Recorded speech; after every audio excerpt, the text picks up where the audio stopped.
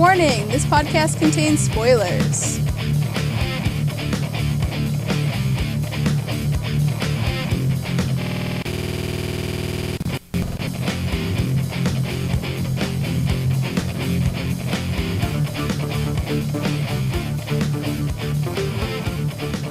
Hello, everyone, and welcome to the As Seen on TV podcast for Agents of S.H.I.E.L.D. Season 4, Episode 6 The Good Samaritan. I'm your host, Clio, and with me I have Jacob. Hey, it's just just us. Just, just us today. Tiny But you crew know what? today. That makes it better. Exactly. Exactly. Still, still, still one big podcast family. Hey. Uh, this episode was great. I feel like maybe the best one yet in this season. We got we got Ghost Rider, we got Star Wars, um, all the great stuff. We got Coulson being Coulson. Of course. Uh, we we have uh, nods at Peggy Carter. Yes, We got all of it. always for. Got all of it today. Um, so it's it started out with flashbacks, and I like how it said back in the day, like a nondescript year. Just you know, back in the day. Doing the Once Upon a Time thing. yeah. Uh, and we saw uh, Eli when he still had, you know, when it was still his charger. Uh, Yeah. And they, you the, the, the scientist peeps made carbon out of nothing, and he was just like, sorcery! Explain this! It- Yeah, you don't. You know, it's a common uh, science logic. You can't make matter out of thin air. Matter cannot be created or destroyed. It can only be changed. And yeah, they they did it. Um, it's not science; it's magic. And of course, you know, as it always goes, you try to come, you try to explain magic with science. It doesn't doesn't work. doesn't make any sense. Um, but yeah, and we see Eli trying to explain it with all like all of his science, but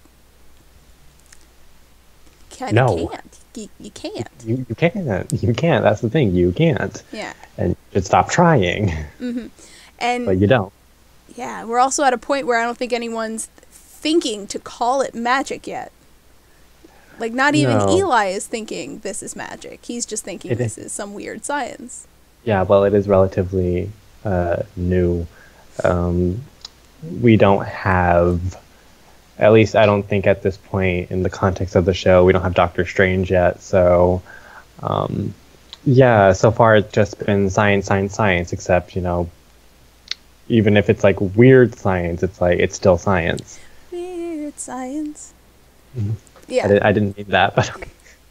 I know. I'm sorry. Sometimes I can't help it. Uh, yeah, but what what was the lead scientist's name? J- John, Joe, Jacob, Jagelheimer. I don't know. yeah, Something. I feel like it's Joe, like something with a J. Um, just regular Joe. yeah, a regular old Joe, but he's being super protective of the book, and even his wife didn't have access to it. Like he was being. So and and I mean it ended up being that he was the one who ordered the hit on the on Robbie and and Uh, Gabe. what?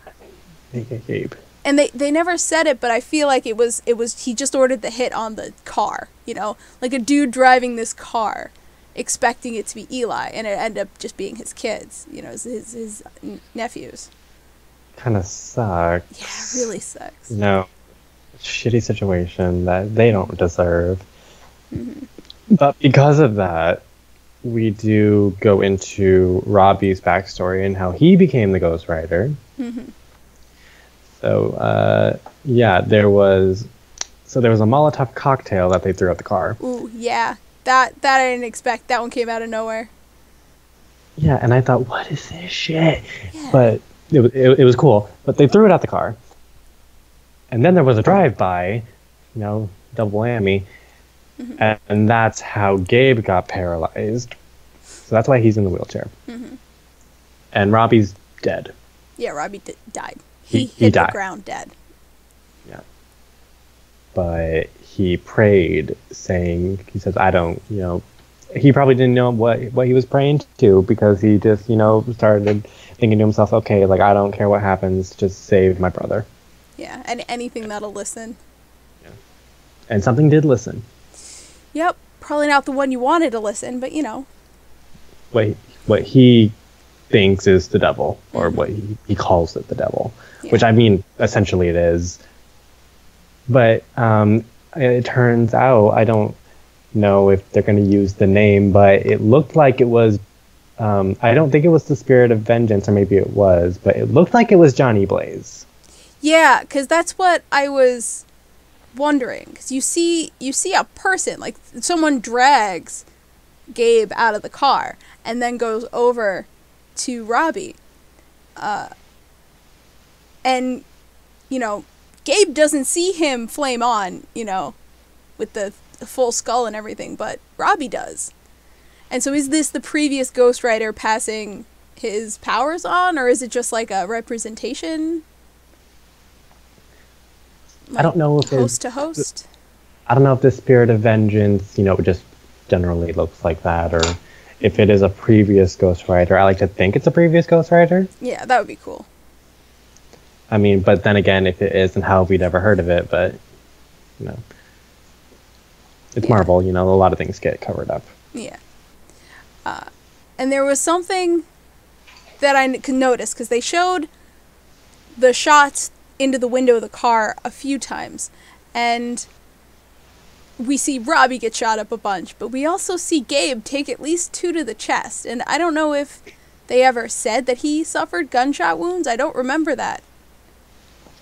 If they ever He said that. probably he probably did, but it was in those it was in those areas that are safe, that you don't need them. but uh, fiction fictionally safe. Yeah, Uh, like Mike likes to point out every time, he's like, if you get got shot in the shoulder, it's it's not like you're gonna walk it off, you know. But you're fine. Yeah, but fictionally, you're fine. I mean, it's happened in this show. Yeah, exactly. But I I I was just thinking about that because maybe, um, when he prayed for the Ghost Rider to to save Gabe, that the the Ghost Rider took away the bullet wounds, but left him paralyzed, maybe on purpose. I don't know. Mm. It was just a thought. Some kindness, I guess, but Yeah, maybe.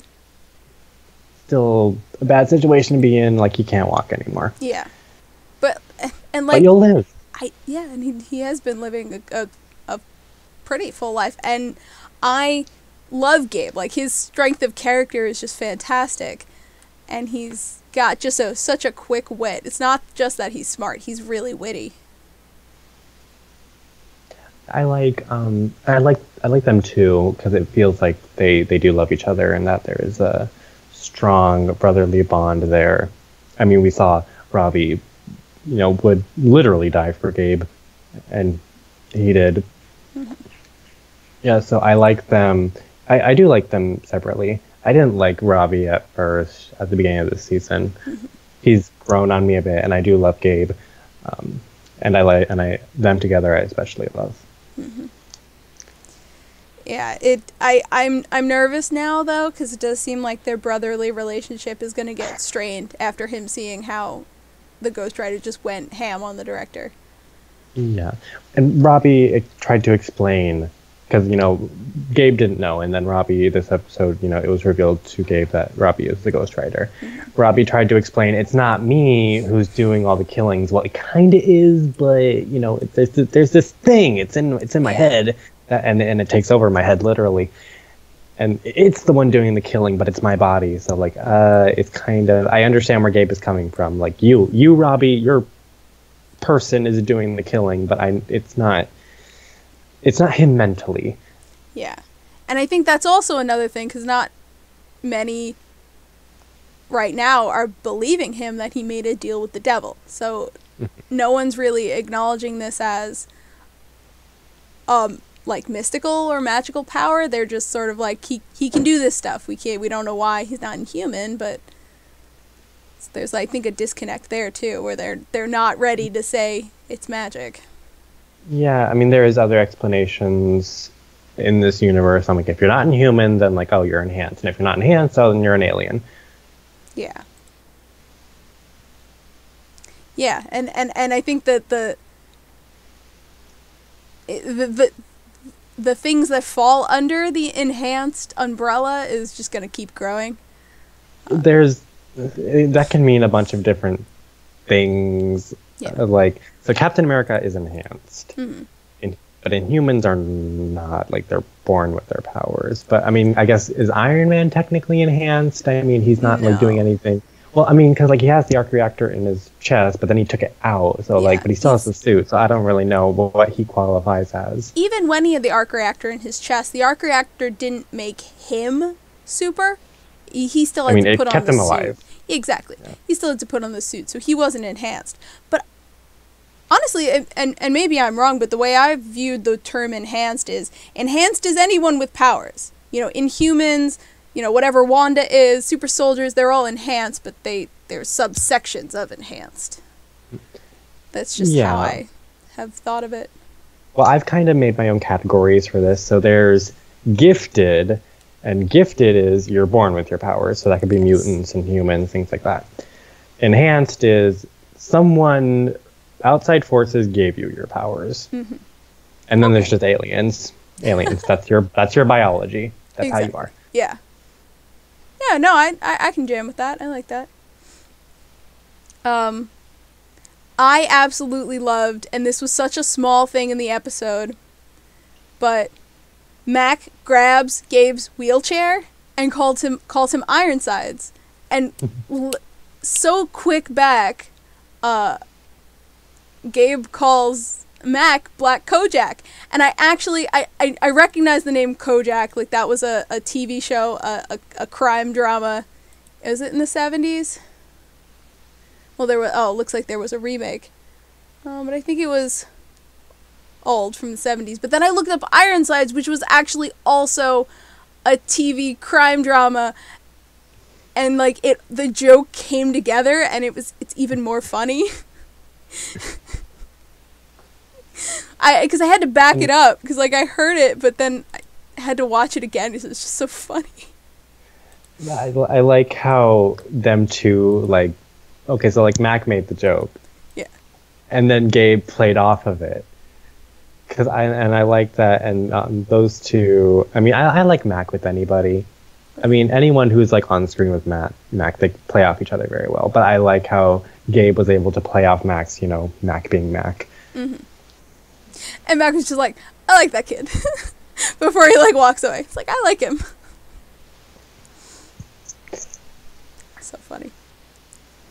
Uh, so we get the the director, who's telling Simmons she's got to go on this whatever secret whatever mission with somewhere secret, and then he makes her put a freaking hood on, and he's like a team that trusts, and she's like just just don't. And she's so sick of his bullshit. i mean she's been sick of it like since the beginning Yeah, but now she's like telling him she's sick of it. well yeah well before she couldn't Yeah. but like she's always hated the way he's done things. Mm-hmm. But like she had to keep her mouth shut because you know she's the but she she's the sadist. She has to like you know keep up appearances and whatever else. But like now she's like no, like fuck you. Exactly. Yeah, and I, I we got just such a little bit of Simmons this episode that I'm nervous.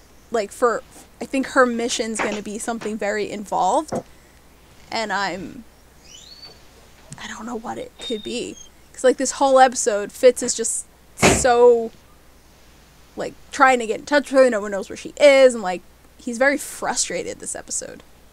Yeah, I um I always loved Simmons Fitz and Simmons together.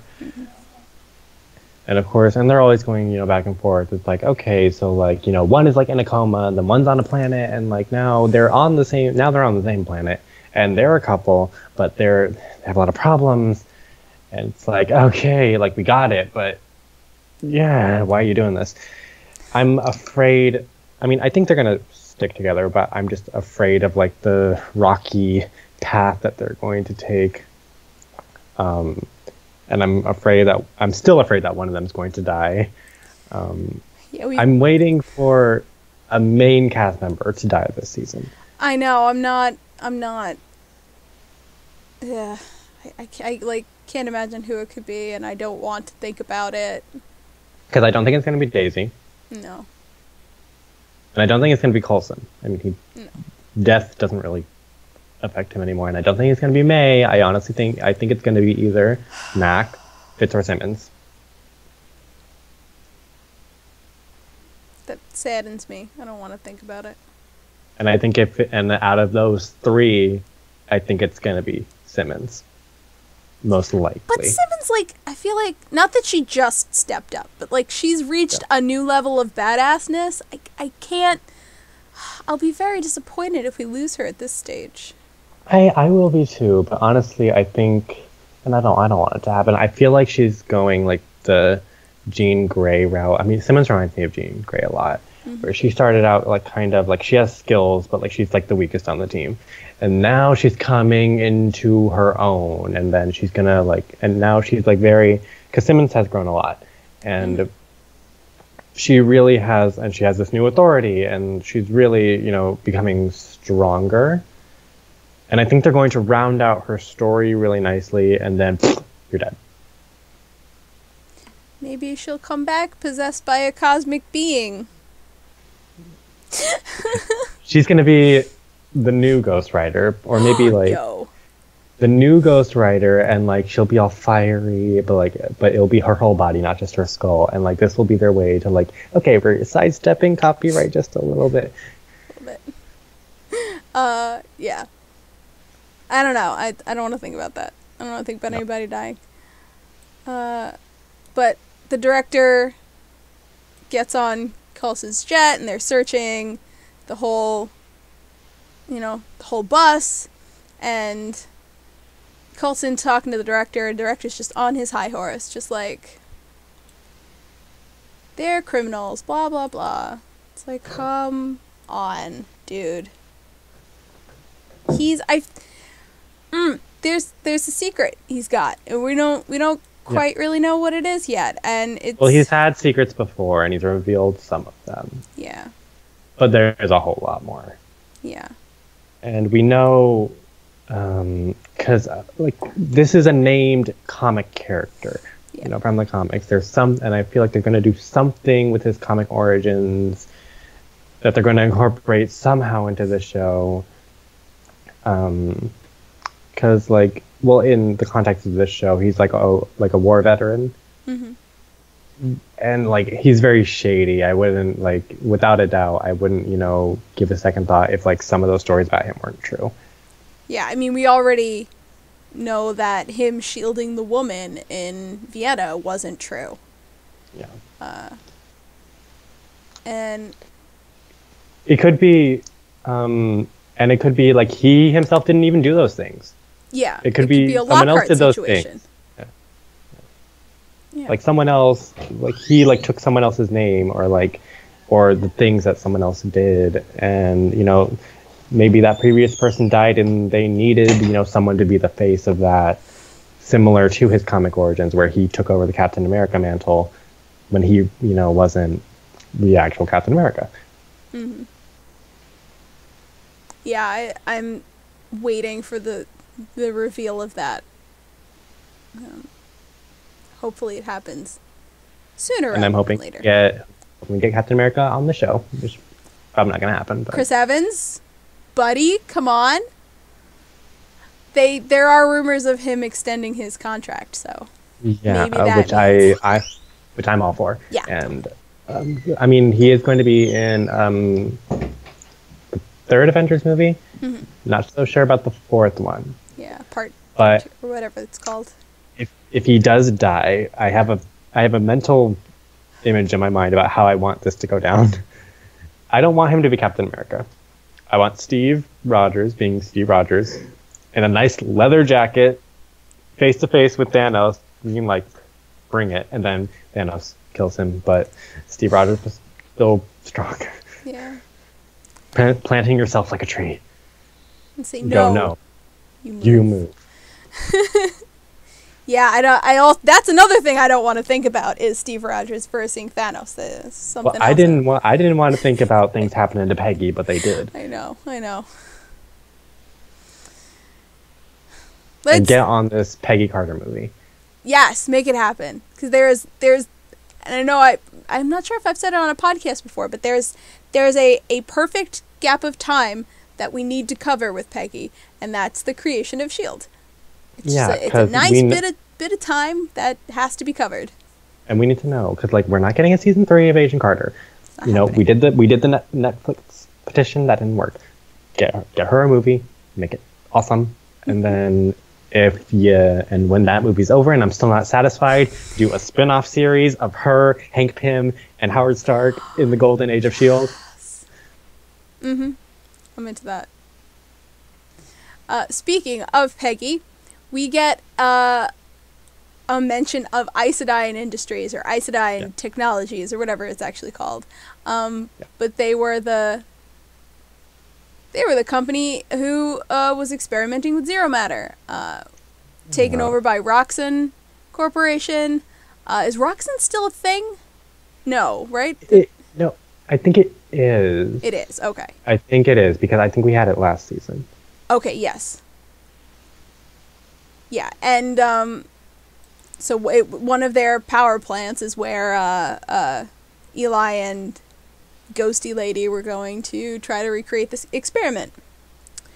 Um, and it got me thinking because the, whatever the Darkhold is is showing them, you know, the, the ability to create matter out of nothing, feels a little bit like the m- magical version of zero matter a little bit Yeah, zero matter is definitely. Well, they don't exactly know what zero matter is. They don't understand it completely.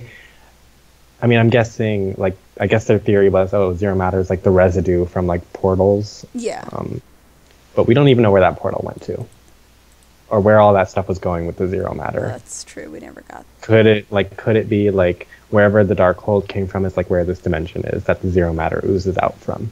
i would actually love if there was a really strong tie between zero matter and the Darkhold.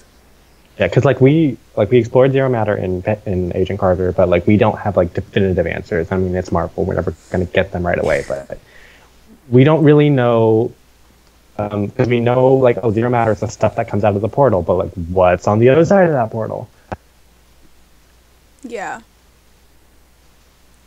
Yeah i don't know. I don't know because I, I just thought oh this is kind of like just a mirror of of zero matter but it could actually be really connected to the darkhold. Because we know absolutely nothing about the darkhold. Is it's Asgardian. It's always Asgardian, yeah which we haven't gotten a lot of actually. I'm surprised. Um, it was very strong in season one and like a little bit in season two.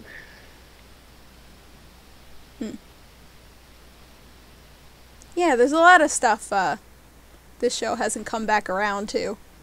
That Uh, bring s- Lady Sif back. I love I love when Lady Sif comes on the show. always. I want her to have like Yeah. a every season have at least one cameo. Yeah, that'd be nice. She's fantastic.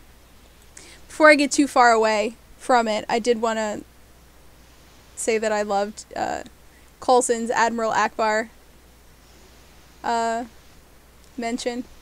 He's like, now Admiral Ackbar, that's a real hero, and I'm like, yay! Yeah, yeah, fish head. You know, saying that line that I won't say on the show. It's a trap, You, you, you know, you know, you know the line. of course. You know, and and but I I love it because, you know, the director mentioned Han Solo, and you know, that's such a everyone knows Han Solo. That's such a a a general thing to mention in Star Wars, and it's just like, yeah. and then he says Admiral Ackbar, and I'm like, yeah. I mean, like, I mean, like, there are people who haven't seen Star Wars who know about Star Wars things. yeah, Like people who haven't seen Star Wars know they know about Yoda and like Darth Vader and all that Exactly. stuff. You don't, but like pe- the casual person who has never seen Star Wars does not know who Admiral Ackbar is. this is true, They know they probably know the line, but they don't know the character's name. Mm-hmm. and they And, like, definitely just don't love- know how truly badass he is. No. But like I just love, I just love that Coulson would be the one to bring that up. Oh yes, Like no, I, I doubt anyone else on the team has even seen Star Wars. Fitz maybe. Yeah. Maybe Fitz, Fitz. but Fitz makes those kinds of references too, so probably Fitz. but like he but like Coulson is um so like what millennials are right now that's what Coulson is and he was a millennial back in the day and like no one and no one understood him and like now he can make all these references and people are actually going to get it in in this time he like loves the kids of today Yeah. Oh my god, that's actually so funny because there was a, a post on like I don't know Pinterest or Tumblr or something, and it was Clark Gregg in a hoodie on a skateboard, and the caption was, "I'm not like other teenagers. I'm 53." I love Clark, but I love Clark Gregg because he is, um, he is just, I don't know, he's something else, and he's just, he he is Phil Coulson, yeah, and and Phil Coulson is him, and um, I love how, um, and he just just you put him in a situation, and he will jump right into it, not knowing what the fuck he's doing, but he will do it, oh yeah, and I loved him on a lip sync battle with uh, Hayley Atwell. oh my god, the yes, those things were amazing. and I'm just thinking to myself when those when those two were doing their um, acts, I'm just thinking like Nick Fury is like watching the TV right now. It's like what? Well, Cap, Pe- first of all, Peggy, you really you know you went off the deep end after Cap died, and Coulson just yeah maybe we should have left you dead. It's like call Phil. I did not bring you back from the dead, so you can have a lip lip sync battle. in a Britney Spears costume. Oh my god, I loved the wrecking ball one. I think that one was my favorite. Ah, too much time on their hands. Uh, anyway, I I like when when they're Mackin and and Fitz were trying to figure out the console, and they're like, "We know this stuff. It's not like we're stupid. This is our our jam. Like, we just can't figure it out." Did did It's Mac like- use the word magic? Um, he might have. He might have. Uh. and then and and then Fitz is like, no, it's just it, they figured out a different way to do it. I'm like, what if it is? It's magic. Yeah, it's um. I mean, it's definitely because like they're um like the techie people on the team. You can't expect them. You can't expect them to know everything. Smart people can be stupid in some situations, and like ma- if magic isn't your forte, and it's like nobody's forte on this show. Yeah. Like when it comes to, they're gonna encounter like actual like actual like not not technology like an actual magical relic that other than the Darkhold. Something that you need magic to work, and they will have no idea what the fuck they're doing. They'll probably blow it up, and it still will. Still won't work. Yeah, yeah, and and they're uh, gonna they're just gonna go insane. Like I don't know what to do. yeah, and with the console, it's like th- this is clearly a technological console that's laid out in a way that these two, you know, engineers know, but it doesn't work the way it should. But you know, Eli read he was just he read the Darkhold. He followed its instructions and he got it to to do its thing. Um, and in some weird twist, he was actually the one that did the experiment in the first place. He made the the ghosty people um, in an attempt to give himself the power of creating matter. Yeah. Um, he was dabbling in things he did not understand. And I mean, you know, karma. Uh, Yeah. and you know, you, well, you got what you wanted. You created matter out of nothing. Yeah, who knows what he's going to do with that power now? He's. I'm still waiting for this Doctor Strange tie-in. Um, Um, we have a hiatus now yeah, till the 29th of November. because I was thinking maybe. Because I want to know. Because I was always thinking, you know, th- this season when the season started, I'm like, okay, who's our villain? Um, it's not Robbie. He's more like a third entity that's kind of like he's not evil, but doing bad things. He's like anti-hero. Mhm. So, e- so I'm thinking Eli. What does Eli want? And how is he connected to all of this? Yeah. And I'm thinking, and I'm thinking, you know, okay, we got, we're introducing magic into the show. So I'm like, okay, so is it a Doctor Strange thing? Are we going to have ties to that? Is he like a character from Doctor Strange? I don't think he is.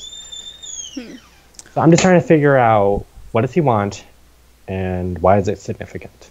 Yeah. Because in the. We might not know everything about Eli, too. There could be something he wants vengeance on. And my dad just reread the comics with, with Robbie's um, Ghost. And it w- actually wasn't the spirit of vengeance. It was his uncle Eli's spirit that possessed him and caused him to take vengeance. Um, Hmm. So it was a little different version of Ghost Rider. So I don't know. I, I think Eli's got some vendetta with somebody out there somewhere Yeah. for some reason. And that's what he's going to use his powers for. Maybe. So maybe he wants to, maybe he just knows about magic. And maybe this spirit of vengeance in this show did something to, I don't know, his family or whatever. You know, so the spirit of vengeance did something. Eli was pissed off at it, and so he's trying to like use magic and technology because he doesn't know how to like defeat a magical thing. So he's trying to use magic and technology together to defeat whatever evil magical entity he wants to uh, get rid of. Hmm. Yeah, maybe. Because we. We don't know what happened to Robbie and Gabe's parents, do we? No. Um, I mean, I'm I'm just assuming they're dead, Yeah, me too. we don't know what happened. Yeah, so maybe it has something to do with that. Maybe we'll get more of that backstory. I don't know. Just gonna have to wait and see. But uh, there was the big energy burst, and Coulson and Fitz and even Robbie have disappeared. They are no longer where they were when the explosion happened. So They're not dead. they're not dead. No, I think they're in some weird like ghost plane of existence. Know. Probably where it's oozing with dark matter in there. Probably. Yeah, we don't, maybe. We don't. We don't know where they went, but I want to see where they went. Yes. Um, no doubt uh, Robbie's ghosty powers is going to help them get out. Yeah, he probably Robbie has probably seen this place before, wherever it is they are. Yeah. He's like, oh yeah, I know this place. or at least maybe the spirit has. Yeah. Uh, we have, there's no synopsis, there's no nothing. Um, even the promo for next episode is just like old clips, like none of it is new footage. So uh, I have It's nothing. a clip show. It's a clip show. I have We you never had a clip show for this. Uh, so Jacob, where can the people find you? You can find me here on YouTube at Jacob Salazar, or you can find me on Twitter. Tweet at me throughout the week, throughout the life, at To Nowhere Land. That is T O N O W H E R E L E N D. Join the Nowhere Land Society. And you can find me at Cliomoto on Twitter, Twitch, and Pinterest. And you can find all of us at ASOTV Podcast on Facebook, Twitter, Gmail, Google Plus, and right here on YouTube. Follow us for some more podcasts from some of your favorite TV shows, video games, and movies. Until next time, bye guys. Bye. I still haven't seen Doctor Strange, and I'm very upset. I haven't seen it either. And it's supposed to be like really, really good because like I haven't heard like one bad thing about it. So Yeah, stupid appendix.